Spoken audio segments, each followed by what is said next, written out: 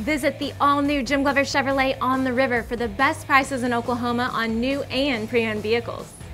Located in the heart of Tulsa at I-44 in the Arkansas River right off the Elwood exit, or shop online at jimgloverontheriver.com.